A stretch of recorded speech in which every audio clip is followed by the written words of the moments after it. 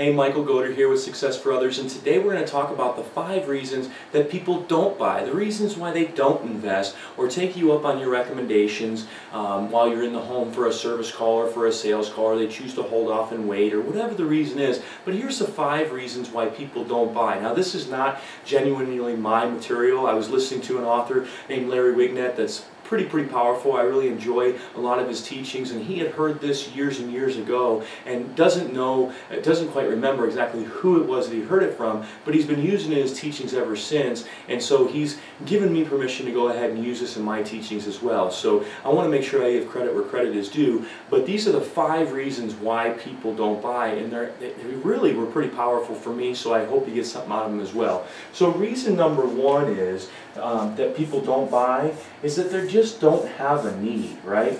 They just don't have the need. But we got to understand this. Number one, in our business, typically on a breakdown, the need's there, right? They got to do something. But when the, there isn't an immediate need, when there isn't a breakdown, it's not DOA or whatever have you, that need can be a, a challenge sometimes. But we have to realize, we got to get our arms around this one simple fact. People very rarely buy only what they need. We invest in stuff every single day, all day long, of things that we don't really need. They're impulse buys, they're whatever you want to call them, but constantly, you and I both, we sit down and we go to a store or we go out somewhere and we buy stuff that we don't absolutely have to have. It's just the nature um, of, of human beings. So at the end of the day, this is not completely required, as long as we have the other areas in place. People don't very, very rarely buy only what they need right? That's why we live in 3,000 square foot houses or 2,000 square foot houses. We don't need it, but we want it, and that's a big difference. So that leads us to number two. There's just no hurry, right? I mean, what's there's just no hurry. There's no immediate need. I mean, we could even need it and we could even want it, but we just don't have to do it now. We can hold off for a little while. We can wait three months, six months, a year, whatever it may be. And that is actually our job. I mean, that is your job as a service technician, as a salesperson, as a CSR, as a, an owner, a manager, whatever have you, is to you know, really create that urgency because let's face it, if you just wait for weather to create your urgency or breakdowns, your business is going to be extremely seasonal. So that's somewhere that, you know, with a good solid presentation, with good focus and good training and good skills, you can create the need. You can create the hurry. You can create the urgency um, and, and, and eliminate this as well. So the top two reasons, again, people don't buy, there's no need and there's no hurry, and both of which we can overcome relatively easy. The third one is one that we get all the time, and it's the fact that there's no money.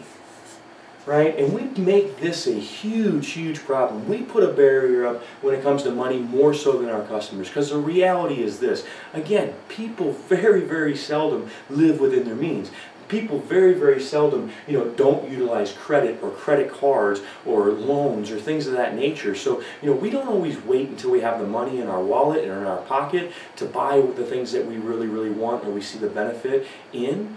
We go out and buy them. That's what we do, and everybody does that. So at the end of the day, this is a lot easier than what most people make it out to be. I mean, at the end, anybody can get approved for financing pretty much today. Um, financing is back. The purse strings are not nearly as tight as what they were three, four, five years ago. So at the end of the day, the money is relatively simple, and we can work around that. We make that a barrier more so than the customer. We assume they're not going to qualify for financing. We assume they don't have the room on the credit card. We assume they don't have the money in the bank account to purchase or to approve our recommendations or our suggestions, and therefore we don't even talk about them. We don't even bring them up, and that's a big, big, big mistake. So the money's a big one as well. Now the next one is there's no want or no desire right? I mean, they don't really have to have it. They don't need it. It's not broken down. They're really not in any hurry, you know, any of that thing. But they just don't, they don't have a desire. They don't have the want for it because they don't understand it. And again, that fits right into what our job description is, right? I mean, first and foremost, we're educators.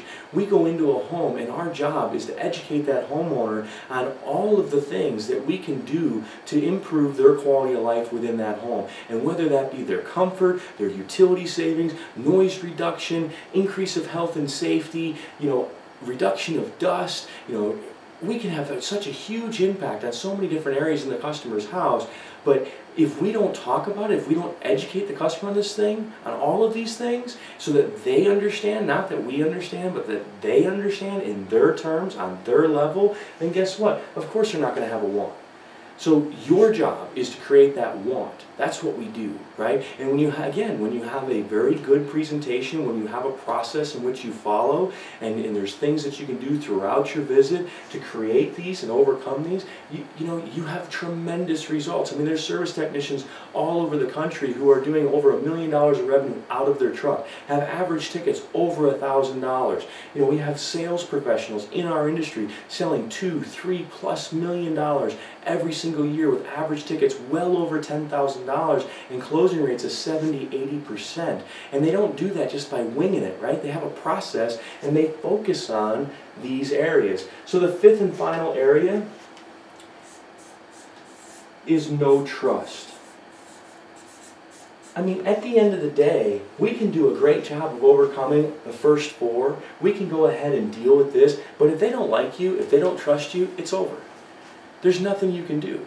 So your first goal with every single customer is to treat that customer the way that you want to be treated, right? Your goal is to build that trust. We have to put 80% of our focus on communicating and building that relationship with the customer and 20% of our focus on the actual box itself or the service that's being rendered. So again, no trust, there's nothing you got nothing. You don't have a customer. You're not. They're not going to go ahead with the re recommendations, the repairs.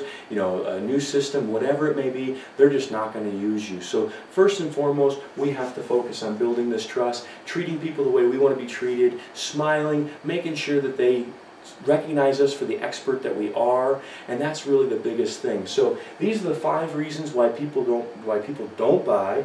So no need, no hurry, no money, no no want, and no trust. Make sure you're focused on this. We have control over all of this stuff. What we say, what we do, how we say it, how we look, how we act, everything that we do in that home should be based around taking these barriers down and removing them so that people will go forward with us. So at the end of the day, make sure you're dressing for success. Make sure you're positioning yourself as the expert and make sure that you're communicating to your customer extremely effectively in a positive tone, in a positive manner, so that, that you're creating an emotion, you're creating a feeling of like and trust, and then they realize, you know what, hey, you can have such a huge impact on their quality of life that they go ahead with your recommendations or your suggestions or your repairs. So again, Michael Goder with Success for Others. If you haven't connected with us already, um, you can connect with us on Facebook, LinkedIn, Twitter, um, Success for Others, www.success, the number 4 others.com.